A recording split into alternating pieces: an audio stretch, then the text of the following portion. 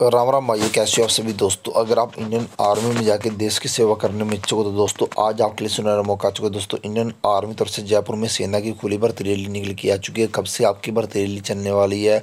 कौन कौन सी पोस्ट पर आपकी यहाँ पे भर्ती होगी? क्या आपका जो सिलेक्शन प्रोसेस है आगे इसमें चलने वाला पूरी जानकारी दोस्तों, आज की वीडियो में आपके साथ शेयर करेंगे। अगर आप ये पूरी जानकारी जानना चाहते हो तो वीडियो को पूरा अंत देखें। दोस्तों, चैनल पर नए हो तो चैनल को सब्सक्राइब करना और बेल आइकन को प्रेस करना। अगर आपने वीडियो को लॉगिन किया तो वीडियो लाइज करें। इससे सतानवा वीडियो शुरू करते हैं। दोस्तों आर्मी रिक्रूटमेंट रैली जो आपकी जयपुर की तरफ़ से होने वाली है, यह भर्ती दोस्तों, आपको बता दें कि 8 मार्च से लेकर 31 मार्च तक आपकी सीएसएफ ग्राउंड जयपुर में आपकी भर्ती रैली चलने वाली यहाँ पे आपको जो पोस्ट मिलेगी दोस्तों, जनरल ड्यूटी की टीच की और ट्रेडमैन की और आपको कलर की, ठीक है? काफ़ी सारी पोस्ट पर आपकी जो भर्ती है, ये चलने वाली है।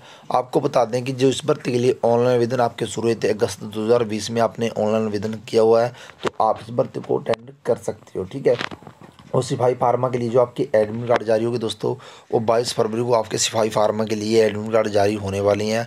आपकी सिपाही फार्मा के लिए भी यहाँ पे भर्ती है, होने वाली है, ठीक है? यहाँ पे आपको बता दें कि आर्मी गवर्नमेंट जो आपकी पोस्ट मैंने आपको बता दिया, यहाँ पे जो भर्ती होगी आपकी जयपुर, शिखर, टोन, राजस्थान के इन सभी डिस्ट्रिक्टों की जो आपकी भर्ती रैली है, ये चलने वाली है, ठीक है? आपको बता दें कि इस, इसमें जो सुबह आपकी जो एंट्री होने वाली है, सुबह तीन बजे आपकी जो एंट्री है, इसमें होने वाली है, और आपको बता दें कि आपने जो इसमें ऑनलाइन रजिस्ट्रेशन की अगर हम बात करें, यहाँ पे ऑनलाइन आवेदन आपके तीस जून से लेकर चौदह अगस्त 2020 में आपके जो ऑनलाइन आवेदन हुए थे दोस्तों और अगर आपने इस भर्ती के लिए ऑनलाइन आवेदन नहीं किया था तो आपसे भी तो आपको बता दें कि आगे जो आपकी डेट आई थी ग्यारह जनवरी से लेकर नौ फरवरी तक आपने इस भर्ती के लिए ऑनलाइन आवेदन करना था डी फार्मा के लिए।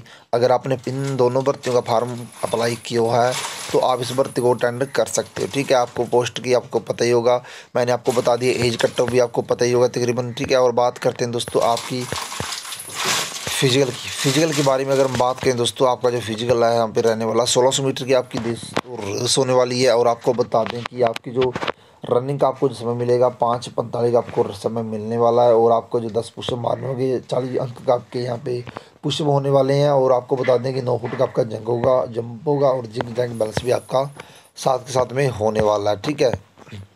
और आपने एडमिट कार्ड भी साथ साथ साथ लेके जाने हैं। और जो आपके लिए बहुत ही अहम बात यहाँ पे रहने वाली है कोविड नाइन्टी दोस्तों, आपको बता दें कि कोविड नाइन्टी की अड़तालीस घंटों की रिपोर्ट है। वो आपके पास होनी चाहिए। नो रिस्क का सर्टिफिकेट आपके पास होना चाहिए। और आधार कार्ड आपका और आठवीं, दसवीं प्लस टू अगर आपने कर रखी है तो ये तीनों के तीनों डॉक्यूमेंट आपके पास होने चाहिए। एफिडेविट आपके पास होना चाहिए। करेक्टर सर्टिफिकेट होना चाहिए और डोमिन सेल होना चाहिए। और आपको बता दें, जो आपका रेजिडेंट है, वो भी आपके पास होना चाहिए। सारे सारे डॉक्यूमेंट हैं दोस्तों, आपके पास होने चाहिए। और एडमिट कार्ड आपने दोस्तों फोल्ड नहीं करना और साथ में एडमिट कार्ड के साथ अपने फ़ोटो लगा के उस पर अपने साइन करने हैं, आधे एडमिट कार्ड के ऊपर, आधे अपने फ़ोटो के ऊपर सिग्नेचर करने हैं। ठीक है, आपने गाँव का करेक्टर का सर्टिफिकेट जितने भी आपने डॉक्यूमेंट्स में बताए गए हैं, सारे के सारे डॉक्यूमेंट है लेके जाने हैं। ठीक है, ये नो रिस्क का आपका सर्टिफिकेट रहा और आपका ये रहा कोरोना का। दोस्तों, किसी भी गवर्नमेंट हॉस्पिटल से आपने इस पर सिग्नेचर करवाने और अपने डॉक्यूमेंट के, यानी कि जो अपने डॉक्यूमेंट के साथ से लेके जाना है नोरिस का और अपना कोरोना का। ठीक है, बस आज की वीडियो में इतनी ही जानकारी आपको बतानी थी। अगर आपको ये जानकारी अच्छी लगी और बाकी आप जानकारी जानना चाहते हो तो दोस्तों आपसे भी नोटिफिकेशन को इंडियन आर्मी की वेबसाइट पर डाउनलोड करके अपना नोटिफिकेशन के हिसाब से आप सभी अपनी तैयारी कर सकते हो। बस आज की वीडियो में इतना इसी के साथ जय हिंद, जय भारत, जय हरियाणा।